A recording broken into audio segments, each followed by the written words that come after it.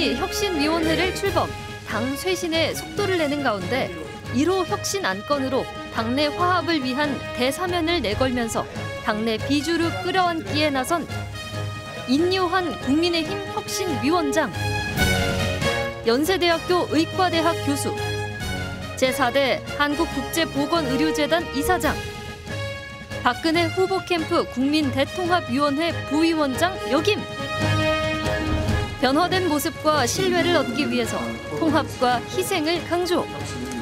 우리가 처음에는 통합, 그 다음에는 희생. 어떻게 뭐를 정치인들이 내려놔야 국민들이 신뢰를 할 건가. 그거를 지금 하고 있는데 인요한 국민의힘 혁신 위원장이 구상하는 당 쇄신과 총선 승리 방안 집중 분석합니다. 국민의힘 혁신위원회가 1호 혁신안으로 징계 해제를 제시했습니다.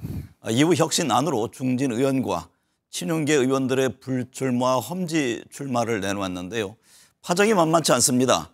인요한 국민의힘 혁신위원장과 얘기를 나눠보겠습니다. 인 위원장님 안녕하십니까? 네, 안녕하십니까? 네. 요즘 뭐 분주히 움직이십니다. 네. 어제는 이준석 전 대표를 만나기 위해 부산을 다녀왔는데 어, 이준석 토크 콘서트에는 참석을 했지만 두 사람의 직접 대면은 이루어지지 않았습니다. 이 전 대표가 영어로 환자는 서울에 있다고 하면서 인 위원장과 만남을 거부했는데 어떤 느낌을 받으셨습니까? 아, 그 꼭 거부한 건 아닙니다. 네. 내려갈 때 무척 당황을 했고요. 네. 그 제가 누구한테 우리 쪽에 아무한테 얘기 안 하고 그냥 혼자서 결정한 일이라 어 그리고 이제 그 끝날 무렵에는 또 그 톡 콘서트가 이어졌기 때문에 저를 못 만날 것 같아요. 네. 근데 환자는 뭐 여기에 있지 않다라는 것은 제가 의사인데 환자는 제가 더 잘 알죠. 네. 예, 그런 기분이 들었고 영어에 대해서는 아이고 우리 할머니가 1899년 목포 태생이고 아버지가 26년 군산에서 태어났고 저도 전라도에서 태어났는데 그 점이 조금 저로서는 힘들었습니다. 네. 이태원 그, 그 추모 행사 때 나올 때 사람들이 소리 지를 때 조금 힘들었고요. 네. 두 번째로 힘든 게 그 이 대표 전 대표께서 영어로 할 때 그 중간에 제가 그랬어요. 또 긍정적으로 하려고. 네. 아유 영어를 저보다 더 잘하시네요. 근데 네. 조금 섭했어요. 그거는 네. 다른 건 없고 네. 비판도 마땅히 들어야 되고 네. 어, 그 언론에 말씀드린 것처럼 저는 경청으로 갔어요. 네. 경청한 이후에 그래도 두 사람이 만날 가능성이 있지 않겠느냐 이 점도 염두에 두지 않았을까요? 아 만나고 싶었어요. 네. 그런데 이제 그, 그 짜, 짜져 있는 그 스케줄과 분위기가 네. 또 솔직히 기자분들이 제가 이, 김포에서 비행기 탄 걸 알고 KTX 표가 없어서 할 수 없이 김포에서 갔는데 네. 거기에 이제 아마 너무 많이 몰려와서 네. 좀 분위기가 좋은 분위기가 되지를 못한 게 좀 아쉽습니다. 네. 근데 어쨌든 이준석 전 대표는 어제 상당히 직설적인 표현들을 했는데 그러면서 신당 창당 가능성을 열어놨습니다. 여전히 이 전 대표는 함께 가야 할 사람으로 보고 있는지. 아 그럼요. 신당을 창, 만들면은 본인도 좋지 않고 우리도 좋지 않고 네. 서로 좋지 않고 제 메시지의 처음 메시지가 통합인데 네. 우리 통합을 해야 돼요. 그 아무리 뭐 쓴소리를 해도 안고 가야 되니까 내려갔고 앞으로도 통합 통합이 첫 목적 첫그 팀인데 그거를 안고 갈 겁니다. 네. 계속 본인도 안으려고 노력하고 네. 그러나 본인이 그렇다고 해서 제가 강요는 아무것도 못 해요. 네. 저는 정치인 아닙니다. 네. 저는 이 당과 크게 나- 나가서 나라의 잘못된 거를 조금 어, 고쳐보자. 네. 그 마음은 변화 없습니다. 네. 근데 이전 대표는요. 개혁보다는 혁명이 쉽다 이런 언급도 했습니다. 아 혁명은 아주 위험한 말입니다. 네. 혁명은요 그 이제 남미에서 35세 미만이 혁명을 생각하지 않으면 청년이 아니다. 네. 또 뭐 60세 이상이 혁명 얘기하면 그건 정상이 아니다. 네. 이런 표현이 있는데 혁명이라는 것은 개혁이 좋습니다. 네. 어, 혁명이라는 것은 목적에 다- 달리 이렇게 소용돌이에 몰려서 1918년 볼셰비크가 18% 지지율 가지고 혁명을 했는데 네. 단호하게 말씀드리는데 스탈린 딸이 네. 스탈린 딸이 미국으로 망명했어요. 네. 망명해 가지고 공산주의는 어, 그 혁명으로 들어왔는데 그 70년 동안에 인류가 한 가장 큰 그 실수와 낭비였다. 네. 근데 그 마- 말의 맥락은 어쨌든 신당 창당 쪽에 기울은 것 아니냐. 지금 오늘 아침에 보니까 뭐 실무적 준비까지 하고 있다. 이런 얘기가 흘러나왔거든요. 직접 어떤 느낌을 받으셨어요? 아, 신당 창당 쪽으로 좀 기울었지 않냐 이런 느낌 안 받으셨어요? 뭐 여러 가지 이제 현실 문제가 있죠. 뭐 네. 제가 보기엔 시간도 그렇게 많지 않고 뭐 억지로 하면 하겠죠. 그 다음에 뭐 오늘 보니까 뭐 추측 보도인지 뭔지 모르겠는데 뭐 뭐그 민주당에서 그 이명계 일부와 뭐좀 불만 있는 사람들하고 네. 같이 글쎄요 그 사상적으로 맞춰 가기가 쉽지는 않을 겁니다. 네. 가능성은 어떻게 보세요? 신당 창당 가능성. 아 저는 그 신당 발표하는 날까지 안으려고 노력할 겁니다. 네. 끝까지 제가 할 일은 그겁니다. 그 시점은 언제입니까? 이뭐 이준석 전 대표나 유승민 전 의원이 이미 시점을 12월로 아 유승민 의원은 저보고 지켜본다고 그랬어요. 네. 조금 당이 어떻게 변하는지 그 굉장히 고마웠어요 제가 네. 왜 그거는 저한테 시간을 좀 주고 그런 간접적인 뉘앙스가 아닌가 네. 그분은 정말 정말 그렇게 신선한 분인지 저는 요번에 처음 알았어요. 네. 그럼 두 사람이 꼭 같이 할 것 같다 이런 느낌은 안 들으셨나요? 아, 많이 그 제 느낌은요 모르겠습니다 실질적으로 근데 대화가 많이 오고 간 것 같지는 않아요. 유승민 의원은 진심으로 두 가지만 얘기했어요. 나라가 걱정되고 당이 걱정된다. 조금 지켜보겠다. 네. 환자는 서울에 있다 이런 발언도 했습니다. 서울 누구를 지칭한 것으로 이해하셨는지? 아마 당과 대통령 의 말씀이겠죠. 네. 예, 예. 근데 환자는 앞서 말씀하셨듯이 의사인 우리 이 위원장께서 더 잘 아 훨씬 제가 더 잘. 알죠. 저는 의사이기 때문에 네. 그리고 그런 접근을 합니다. 뭐 저는 의사이기 때문에 환자로서 이 병을 어떻게 치료할 건가. 네. 어, 국민의힘이 원래 좋은 당이고 많이 변했어요. 네. 많이 변했는데 조금 더 변해야 되고 과감히 변해야 되고 대통령 사랑한 사람들이 네. 그냥 간단합니다. 진리는 간단해요. 네. 결단을 내려야 돼요. 네. 그거 먼저 해야 될 거고요. 어, 그 다음에 이제 뚜벅뚜벅 뭐를 바꿀 건지 또 소통도 더 잘해야 되고 또 아주 경선 같은 경우에는 그 우리가 경선을 선대위원장 아닙니다 제가 네. 그렇지만 그 어떤 페어하게 뭐 어디서 누가 뭐 뭐뭐 내려서 무슨 뭐 공천 아이 그런 일이 없을 거예요. 네. 두고 봅시다. 네. 지금 인 위원장께서 보시기에 환자의 그 범위에는 그러면 당이 당을 말씀하셨고 네. 또 누가 있습니까? 이준석 전 대표도 뭐 저가 됩니까? 저가 당에 들어와서 어, 김기현 대표로부터 네. 정권을 임의를 받아서 이걸 고쳐 나가니까 네. 어, 저는 또 이제 도- 대통령하고도 소통이 좀 있을 줄 알았는데 네. 그 누가 원치 않는 건 아닌데요. 여러분들이 언론 때문에 못 해요. 네. 왜 자주 못 만나고 대화 못 하고 아직 뭐 만난 적이 없지만 그 이유는 오해의 소지예요. 네. 혹시 내가 조정을 받나 저를 보세요. 네. 제가 32년 동안 의료원에서 일했는데 누구 조정을 받고 네. 지내온 사람 조정 안 받습니다. 네. 그리고 어, 갈 길이 길을 정확히 제시했어요. 네. 길을 제시했고 이제 내려놓자 내려놔서 뭔가 보여주자 그런 그렇게 했는데 뭐 그래도 내가 뭐, 시- 뭐 민주당에서는 제가 뭐 많은 안 좋은 쪽으로 몰아가는데 아이고 그분들 그런 거에 연구할 시간이 있으면 좀 민생에도 더 연구하고 네. 그 저에 대한 안 좋은 것도 많이 밝히려고 노력했는데 본질을 내가 미- 민주당에 그 형, 저기 우리 원내대표 보고 그랬어요. 공개적인 장소에서 이제 좀 우리 본질로 돌아가자. 난 민주당도 사랑한다. 네. 나 대한민국 김대중까지는 민주당을 엄청 좋아했다. 네. 나 대한민국을 사랑한다. 이거 좀 다 고치자, 다 네. 바뀌자. 방금 이제 그 말씀은 그러면 대통령을 만나서 주문하고 싶은 얘기도 있다는 것인가요? 어, 대통령께서 굉장히 그게 간절했는데 국회에 나와서 보니까 좀 변했어요. 네. 확실히 변했어요. 또 소통 말씀하시는 네, 건가요? 네, 네. 와서 사람 만나고 네. 대통령께서는 검사 출신입니다. 저는 의사 출신입니다. 우리 스타일이 있고 전문직이고 정치를 몰라요. 네. 그리고 대통령을 누가 시켰습니까? 솔직히 톡 까놓고 얘기해서 민주당이 시킨 거잖아요. 민주당 그런가요? 책임도 있죠. 네.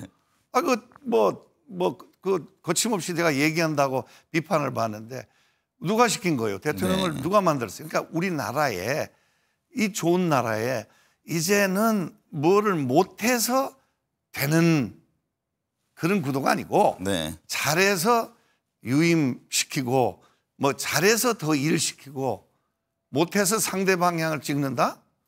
이건 아닌 것 같아요. 의사 입장에서 이준석 전 대표는 변화해야 될 게 있다면 어떤 점이 바뀌어야 됩니까?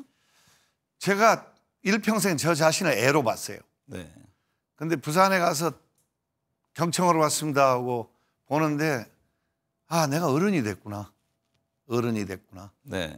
아 정말 어른답게 온돌방 아랫목에서 제가 컸는데 가난한 전라도에 어른들 말을 평생 듣고 살았는데 아마 그 뭐랄까요 지금 mz 세대를 많이 우리가 욕하고 나쁘게 얘기하는데 가만히 제가 깊게 생각해 보니까 우리 잘못이에요. 네. 우리가 그렇게 교육을 했기 때문에 그리고 많이 아프구나. 가슴이 얼마나 아팠는지요, 제가. 네. 기차 타고 올라오면서 그냥 끙끙 앓았어요. 저 양반 조금 마음 좀 어떻게 푸는 방법이. 내가 요번에는 실패했는데 또 만나서 또 풀어야 되겠구나. 네. 그 시점을 언제까지 두고 있습니까? 언제든지 아무 때나 뭐 저를 만나고 싶으면 뭐 항상 문이 열려 있고. 있고 뭐 저도 이제 우리 혁신위원회가 수요일 날 꽤 가까이 가요. 대구까지 내려갑니다. 네. 홍 시장님도 한번 뵙고 싶고 너무 재밌어요. 홍 시장님 네. 발언들이. 한국어에도 능숙한 건 모두가 잘 아는데 어, 인 위원장을 향해서 미스터 린턴이라고 호칭하면서 영어로 우선, 얘기했습니다. 우선 저는 미스터 린턴이 아니고 닥터 린턴입니다. 네, 그러니까 어떤 의도가 있다고 보세요? 영어로 얘기한 게? 모르니까요.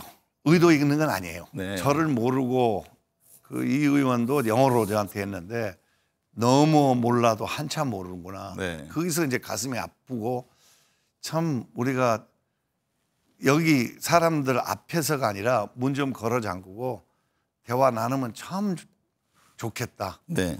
그런 생각이 들었고 저 사심 없습니다. 이거 마치고 이제 본업으로 돌아가야 되고 네. 뭐 이거, 이거, 마- 많은 사람들이 이제 뭐 추측 보도 뭐 오보 뭐 많이 하는데 괜찮아요 그것도 네. 유승민 전 의원을 만난 뒤에 코리안 젠틀맨 애국자 이런 표현 네, 네, 했잖아요. 네, 네. 이준석 전 대표를 한마디로 표현하면 어떻습니까? 많이 마음 상한 사람 많이 상처를 받은 사람 네. 그래서 그 우리가 마음 상했을 때는 공격이 나와요 네. 제가 의사하고 심리학은 사람은 아니지만 정신과 아닙니다. 근데 그, 그 굉장히 이 분노가 이 그냥 자기가 억울하고 분노가 근데 이제 그것만이 길이 아니고 또 제가요 이제 60 넘어서 알게 됐는데 이 내가 잘못 가고 있다 우리 당 보고도 얘기하고 싶은데요 용기가 필요해요. 네. 누구에 대한 분노로 읽으셨어요? 그러니까 이- 이준석 대표뿐만이 아니라 네. 국민의힘 안에서도요 잘못 가고 있는 거를 고쳐 나가는데 용기가 필요한데요. 네. 용기가 없으면요 굉장히 어려워요. 네. 세상 사- 살면서요 내가 좀 내려갈 수 있는 자존감이를 내려놓고 아 잘못했다. 내가 어떤 때 우리 그 우리 간호사 간호사 밑에서 이런 사람들하고 심하게 질타를 하고 그 다음 날 내가요 와서 아유 내가 당신한테 어제 그렇게 했는데 내가 잘못했다 놀라워요. 되게 눈물이 나와요. 네. 내려가면 돼요. 네. 나는 내려가는 거는 저한테는 이제 어렵지 않아요. 네. 아마 이- 여기서 실패할 확률이 성공할 확률보다 커요. 그러나 끝까지 해보자 이 말이에요. 네. 이준석 전 대표의 분노는 누구를 향한 것 같습니까? 당 대통령 뭐 다 그러지 않겠어요? 네. 빠른 거 아닙니까? 두 번째 혁신안을 발표했는데요. 당 지도부를 포함한 중진 의원, 친윤계 의원들이 불출마하거나 험지 그렇죠. 출마를 권유했습니다. 하지만 저 해당 의원들 반발이 있는데 친윤 핵심으로 꼽히는 이철규 의원은 그러면 손은 누가 키우냐 이런 말을 했습니다. 혁신의 권유를 지금 뭐 친윤 어디 중진 보니까 의원들 손은 또 네. 국민이 키운다 이렇게 써놨던데요. 네 그렇습니까? 어쨌든 혁신의 권유를 친윤 중진 의원들이 받아들일까요? 안 받아들이면 안 돼요. 네. 안 받아들일 수가 없어요. 제가 지금 오늘도 촉구하는데 네. 몇 분이라도 결단을 좀 해서 발표하기 시작하면 저도 일이 쉬워지고 네. 분위기 바뀌고 국민들도 아, 말, 말만 하는 거 아니구나. 저는 지금 국회의원한테 기대가 커요. 네. 굉장히 우리 당 국회의원들한테 기대가 엄청 기대를 가지고 기다리고 있습니다. 네. 그리고 이, 이건 끝난 거 아닙니다. 네. 통합도 그렇고 이 희생도 그렇고 지금까지 대한민국 국민이 얼마나 희생을 했어요. 네. 정치인 때문에. 이제 그건 그 시대는 끝났어요. 네. 이제는 이득은 좋은 것은 국민이 찾고 좀 희생은 이 정치인이 해야 됩니다. 대통령을 사랑하면 험지 나오고 못하겠으면 내려놓으라 이런 말까지 하셨잖아요. 대통령을 사랑하면 희생을 하고 올바른 결정해야 되는데 더 크게 얘기합시다. 나라를 사랑하면 그렇게 해야 돼요. 나라를. 근데 이 말숙에는 친윤 핵심 의원들을 향한 발언인지 분명히 염두에 둔 대상이 있을 것 아닙니까? 여러 단체가 있죠. 여러 그룹이 있죠. 네. 뭐 그렇게 자꾸 제 말을 해석하려고 그러지 말고요. 네. 전체입니다. 네. 민주당에도 그런 분 많이 계십니다. 네. 이제 내려놔야 될 사람. 네. 그러니까 이거를 꼭 우리 우리 당만 아니고 이제 정치 문화가 좀 달라지자. 네. 크게 얘기하면 뭐 제가 세 분류를 얘기했지만 우선 그 대통령을 정말 대통령과 나라를 사랑하면 한번 변해보자. 한번 해봐라. 그리고 나와서 수도권에서 네. 지면 어때요? 떨어지면 어때요? 노무현 대통령도 떨어져서 나중에 재개를 했는데 그 뭐 그렇게 떨어지는 게 무서워요? 저요. 본과 1학년 때 유급을 했어요. 다시 다- 다녔어요. 네. 저 재혼도 한 사람이에요. 저 실패 많이 했습니다. 네. 실패 통해서요 사람이요 많이 그, 그 뭐랄까요 이 마음과 이 생각이 많이 성숙해져요. 근데 혁신위에서 그렇게 중요한 문제면은 의결을 했어야 되는 것 아니냐. 아, 권유 정도에 그친 아, 거에 대해서 그건 설명해 드릴게요. 네. 그거는 우리 혁신이가 모일 때는 이런 발표 나는 너무너무 신선하고 좋은 거 우리가 네. 미리 짜고 치지는 않아요. 거기에서 결정 났는데 제가 이제 당한테 많이 많은 불만이 있어서 설명을 했는데 첫째는 시간이 없었다. 네. 회의하고 언제 또 의논하고 또 발표를 하냐. 그 물리적으로 불가능해요. 두 번째는 다른 대안이 있냐 얘기해봐라. 네. 다른 대안이, 대안이 있어요? 한번 우리 아나운서 선생님도 한번 답변해 보세요. 다른 대안이 있어요? 네. 없어요. 네. 그 올바른 길이에요. 네. 이제 됐어요. 나도 많이 편해졌어요. 왜? 강제할 수 있는 수단이 있을까요? 네? 강제할 수 있는 수단이 있을까요? 강제할 수 있는 수단이 있습니까? 만약에 강요 뭐, 예 분위기요. 분위기입니까? 아 그럼요. 네. 분위기를 만들어서 지금 오락하고 있는데 제가 뭐 기구만장은 아니에요. 실패할 확률도 있어요. 그러나 네. 대한민국 사람은요 굉장히 스마트한 민족이에요. 아마 IQ 테스트는 미국- 전 세계에서 최고예요. 다 알아요 답을.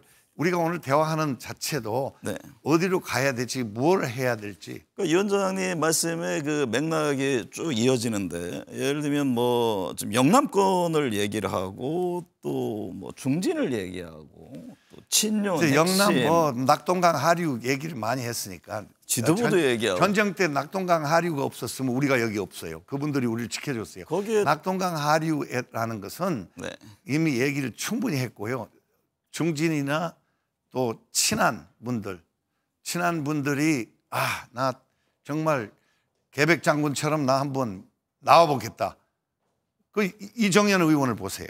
네. 그분이요 순천에 불가능한 데 와서 나는 자랑으로 생각해요. 우리 고향에서 전라남도에서 처음으로 이 국민의힘 새누리당이 됐단 말이에요.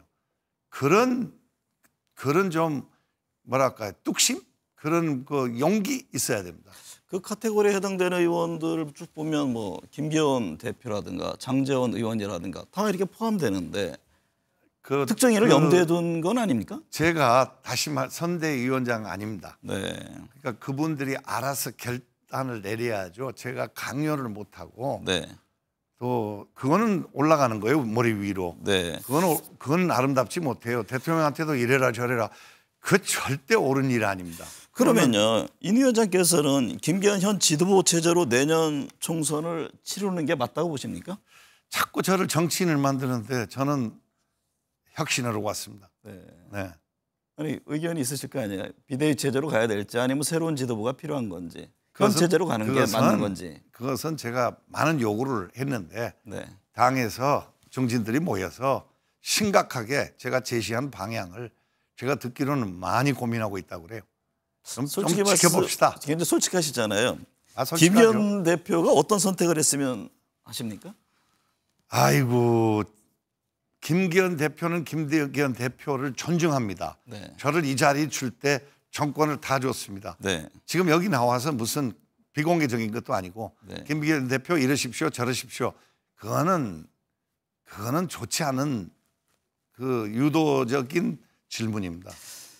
당 정 관계 변화를 주문하는 목소리가 있습니다. 여론조사를 봤을 때 혁신위의 첫 번째 과제로 당과 대통령 관계 재설정이 상위에 꼽히는데 아. 근데 지난번에 이 문제는 월권이다 이렇게 밝힌 바가 네, 네, 있으시잖아요. 여전히 그러면 이 문제에 대해서는 지적할 의향이 없으신 건가요?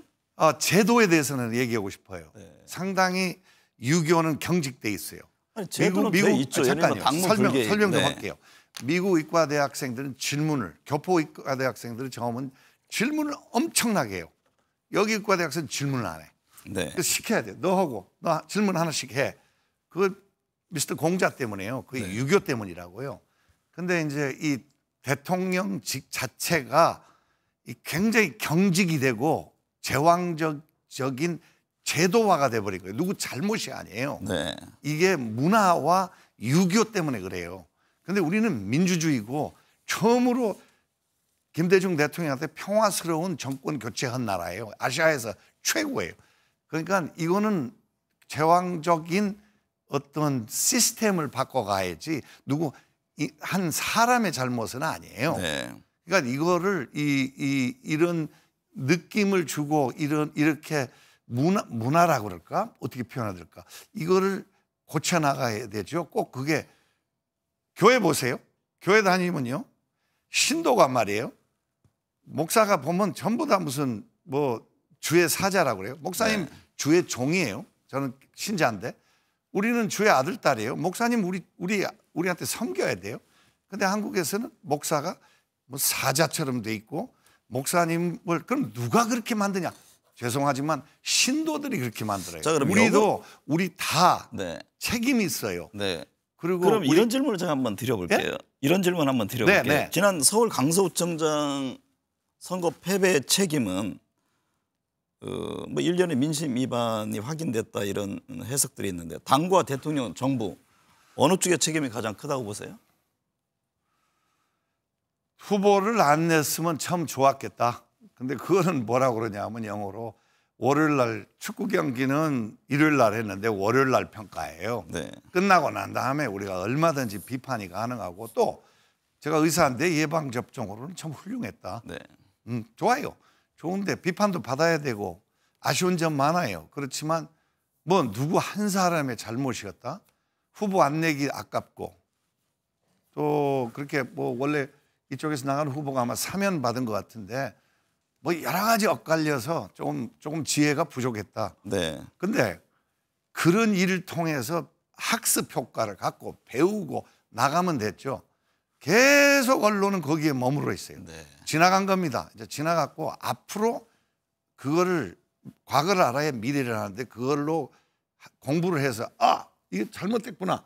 그러고 이제 저는 여기 혁신으로 와서 그런 일이 다시는 일어나지 네. 않도록 막으로 들어왔습니다. 통합을 위해 지금 매진하고 계신데요. 네. 가정입니다만 만약에 뭐 이준석 전 대표든 유승민 전 의원이든 신당을 만들 경우, 만들어졌을 경우 내년 4월 총선에는 어떤 영향을 줄 것으로 보세요? 신당 만드는 거 과거에 보면 상당히 어려워요. 네. 예, 호응을 못 받아요. 네. 두당 구조로 되게 미국도 그래요. 어려워요. 그걸. 근데 이제 저는 이제 오늘 더 얘기하고 싶은 거는 그 다음 우리가 뭐 할 거냐. 네. 이걸 좀 비춰보고 싶은데 자꾸 뭐, 뭐 일어난 일에 대해서 머물러 있는 것보다 우리가 앞으로는요. 이제 심각해요. 경, 경제가. 네. 그래서 이제 청년과 경제 네. 이거를 다음 주 사무원 말씀하신 그렇죠. 그 질문 이제- 드리려고 했습니다. 네. 이제 구체적인 뭐 나온 게 없어요. 회의도 안 했고 네. 대구도 내려가고 수요일 날 우리가 아르바이트생 그 편의점의 아르바이트생 부부가 어, 식당에서 고용, 고, 고- 고용한 사람 구하기 어렵고 본인들도 어렵고 이 모든 민생이 어려운 거 R&D 문제 네. 뭐 이제 이제 할 일이 이제 태산 같고 이것도 하나하나 내려가서 목소리를 듣고 제일 아래 혁신이 뭐예요? 내려가서 애로사항 있는 사람들 잘 들어보는 거예요. 네. 그다음에 회의에서 그걸 잘 쉽게 요약을 해서 그다음에 보고를 올리는 게 우리 혁신입니다. 네. 당에서 김포시 서울편이 그 메가 서울 발표했잖아요. 네, 네, 네. 지금 뭐 내년 총선을 앞두고 이제 중요한 이슈가 되고 있는데 이게 지역 균형 발전은 그럼 어떻게 되느냐 뭐 이런저런 논란이 있습니다. 이 점은 어떻게 아, 적합한 뭐 제안으로 순천, 보세요? 순천 승주도 통합했고 여수 여천도 통합했고 네. 저 고향 말입니다.